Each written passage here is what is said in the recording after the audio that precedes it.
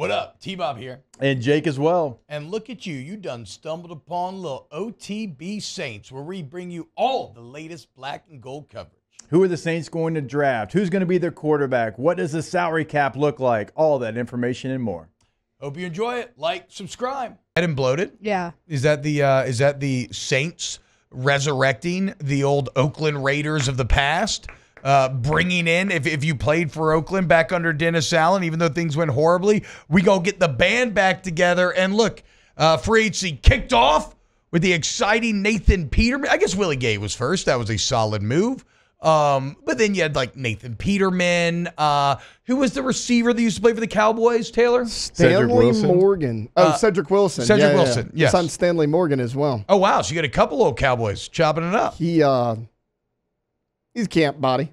Um, well, I mean, yeah. Look, a lot of you know, there's that's kind of the lane that the Saints have operated in. Cedric Uh, Wilson can play though. He's a good player. He had good stats a couple of years we- ago. I think we're just really waiting on the headline former Raider receiver Hunter Renfrow signs with New Orleans Saints. Well, I thought it, I thought that was going to be the headline, but then in light of the Cedric Wilson news, I'm like, okay, I guess they ended up going a different direction. Because remember the last two seasons, not all seasons, two seasons, like there's been a rumor Hunter Renfrow going to get traded to Yeah. New Orleans. And then Uh, when Carr came, it's like, oh, it's going to happen. I mean, it would seem it would seem to make sense on the surface. Do you, what would y'all think the uh, the hangup would be thus far? Is it, is it people thinking Hunter Renfrow can't play? I mean, I find that kind of hard to believe based on what he's doing. Does not fit the Saints system and what they're looking to accomplish. Maybe this the the price to payoff ratio isn't quite there. Um, I guess it could be many things. Uh, but you signed Chase Young, which again, um, oh, and have we readdressed that on air how the contract actually is?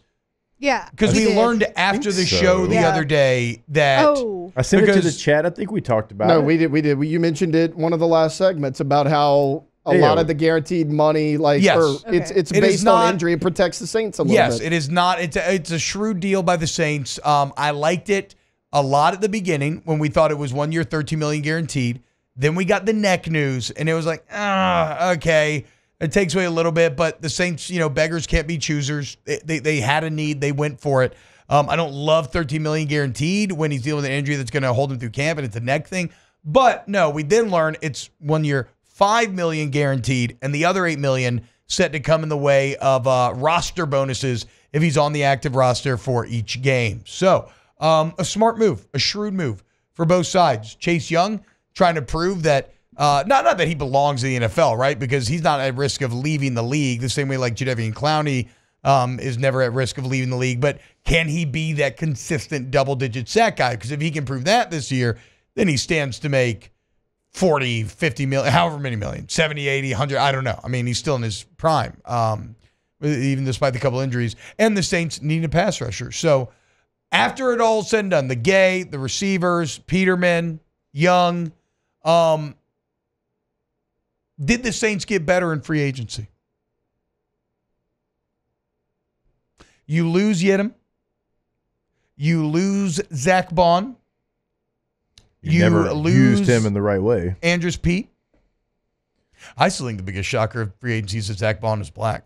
I mean, I swear I thought The that guy fact was that white. you you didn't know that, He played for Wisconsin. there's a lot of things that surprise me that you say.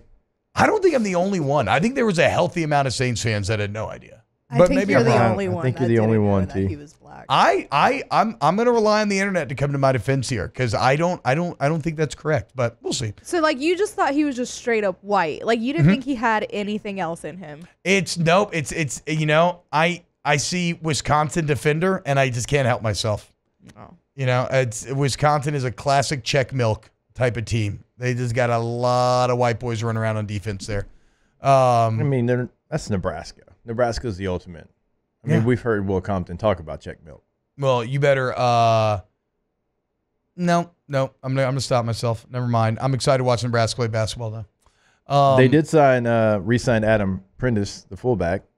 Uh, they also signed Xander Horvath. Oh, so okay. So you think so you think they definitely got better? Um, no, I don't.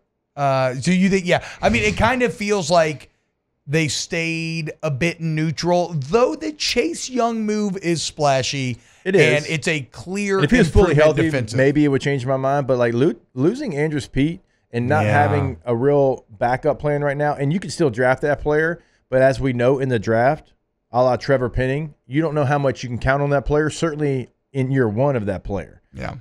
And Andrus Peat, for all the highs and lows that he had in his Saints career, and I've come on this show, hey, going back to hanging with Hester, I talked about Andrus Peat not being what the Saints needed, but you got to give him credit for what he did this year. He stepped up when you had to have him, played well, right? And you let him walk out the door. And I don't know that you're going to bring in somebody that's going to be ready to play at that level. And it's your biggest position of need, in my opinion. Yeah, um, I agree. So you got better on the defensive line, you got worse on the offensive line, but the offensive line is already such an Achilles heel that maybe that outweighs any defensive improvement because we know that like Derek Carr is a quarterback that particularly struggles when it comes to that sort of pressure. Uh, Jake, at this point in free agency, is there anybody you could sign that would make you feel better about the O line? I still think there's some players out there. I mean, I don't believe that Hurst isn't has even signed with anybody. You just you're losing so many, you're losing so many starters if, from a bad offensive line, mm-hmm. and then you're not replacing them with anybody. Yeah. Like that's the issue.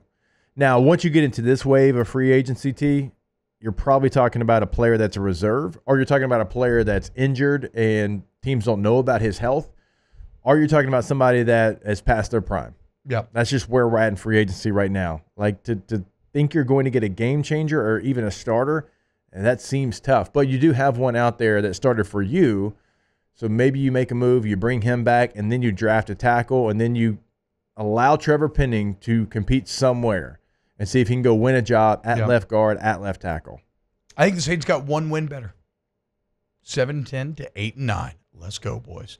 Wow, just amazing black and gold takes right there, Jake. I don't think I've ever heard any takes that are better than the two guys that just gave you that take. And you can keep getting them by going ahead and liking, subscribing, ringing the bell to get notifications when we post. Have a great day. We'll see you on the next OTB Saints.